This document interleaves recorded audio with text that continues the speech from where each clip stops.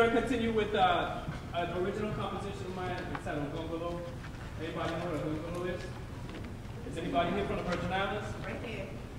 So, you want to tell them what's a Gongolo? It's like a millipede. That's right.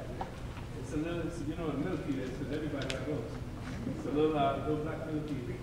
And, um, and I wrote the song, and I was thinking about home when I wrote it.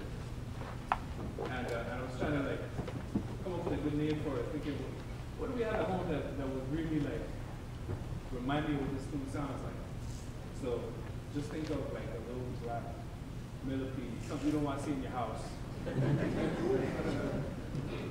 is gonna go.